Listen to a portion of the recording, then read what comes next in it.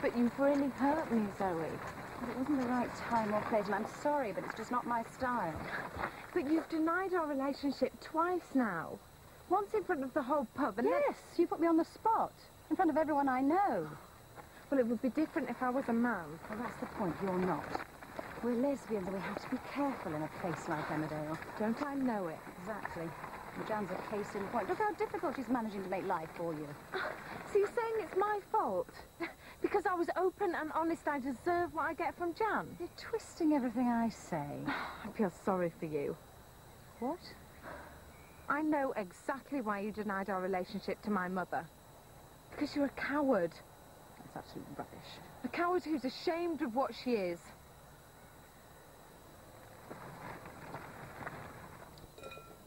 Perhaps you're right. Maybe I am a coward. I don't know what you're hoping to achieve. Trying to get back into your good books. But we don't have a relationship, remember? Look, I said I'm sorry. What more do you want? Oh, honesty, commitment. Okay. Until the next time the chips are down. I mean it. Don't. I'm going home tomorrow morning. Oh, I think my mum deserves a full explanation from me, don't you? I guess so. And when I come back, I don't want this hanging over my head. What do you mean? It's over between us, Zoe. Teas, please, Mandy. Well, you've done me a real favour coming out. Well, what else have I got to do with my evenings? Oh, thanks. Oh, you know what I mean. I keep wondering if that was the reason for Sophie. I fell for because she was there. what, like Everest?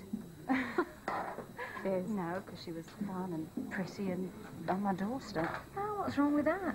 It's too simple. You know, you give yourself such a hard time. And so what if it started like that? How do you feel now that counts. I only wish I knew. Okay, do you miss her? Yes, yes, I do. Well, then her. Better still drive over. I'll miss the dog if I'm away for the weekend.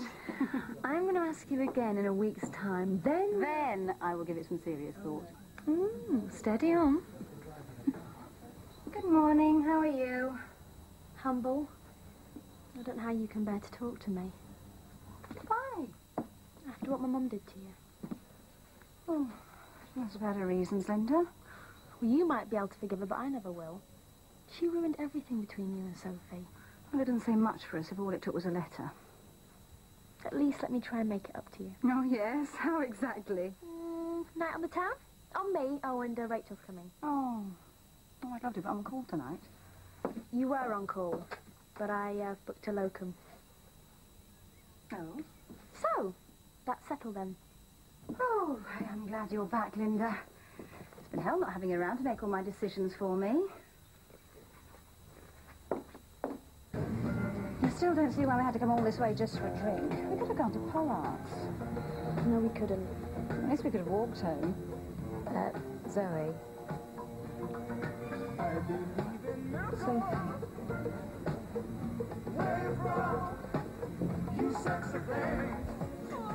You've no right to do this. Someone had to. The pair of you are so pig-headed, you've never seen each other again. Well, that's up to us, isn't it, Linda? Not you. I think we better go. Anyway, the table's booked now. Be a pity to waste it, wouldn't it? Have fun. See ya. So, how have you been? Fine. You? Busy. Could kill Linda for this. Well, you'll have to wait in line.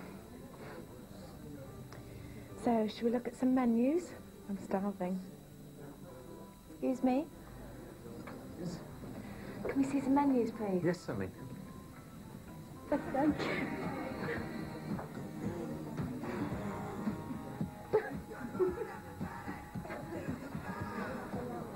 Are you sorry Linda did it? Yes, isn't it? No. You. I missed you. Why didn't you come and get me? I thought about it. I even got into the car once, but I couldn't go through with it. Because you weren't sure about me. Because you weren't sure about me. How can you say that? You left, didn't you? Yes, but you did nothing to stop me. You denied to my mother that we even had a relationship. How could I stay with you when you were so ashamed of me? That's not how it was. No? I'm the only girlfriend you've had. So? So, being with me would have changed your life. I'm resigned to the gossip that never quite been accepted. That's not a decision I can make for you. Nothing lasts forever. Why can't we just enjoy what we had? Didn't have to get so complicated. Oh, is that my fault?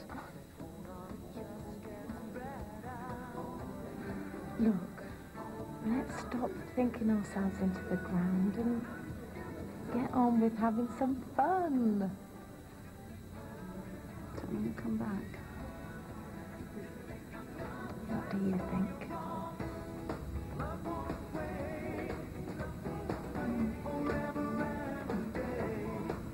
Hi.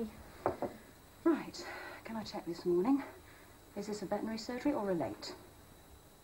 You're mad at me. I didn't ask you to interfere. I didn't want you to interfere. But she's very glad you did. Oh, you rocked it! Nice to have you back. Oh. Don't worry, Betty, it's not a recruiting drive. Very smart. Isn't there something in wedding etiquette about looking more stunning than the bride? Sophie. Hello. James will be pleased to see you. Good, because I've missed him. Yeah, well, we've all missed you. Oh. This just a visit, or are you back for good? No, didn't come back for good this time. Couldn't stay away from the little terror. There's no way to refer to your employer. Not while she's in the same room, anyway. So, don't suppose it's you two getting married and no one's bothered to mention it to me? Lord Oakwell.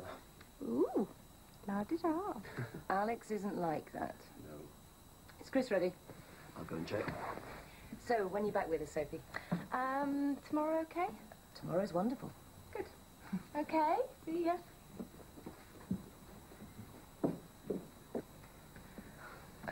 Don't worry. I'm still thinking about him. I'm sorry. David. The last wedding. Getting dressed up like this brought it all back this morning. I wish he could see his son. He'd be so proud. Yeah.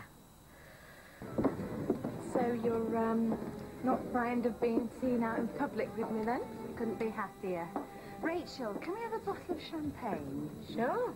Nice to see you back, Sophie. Thanks. I won't get drunk, I promise. What, with loud declarations of love to anyone who'll listen? Exactly. Get as drunk as you like. Oh.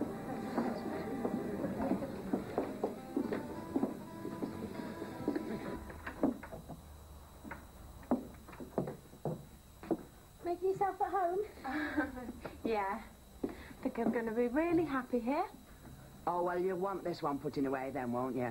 No. Moving us both is not going to change the past anyway. It's me she wants to be with now. Oh, I find I can't keep up with the goings and comings here sometimes.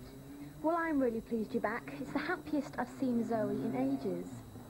Oh, that was Steve. Wants to see me. Oh, what about? Well, home farm business, I expect, but I can always make an excuse if you've got other plans. No, I've got to go to work now anyway. And I'll tell Kim about moving in here. Do you think she'll mind?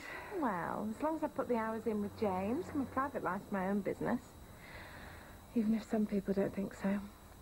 Sophie, I'm really sorry about what my mum did, you know. Linda, it wasn't your fault. Anyway, in the end, things turned out just how we wanted.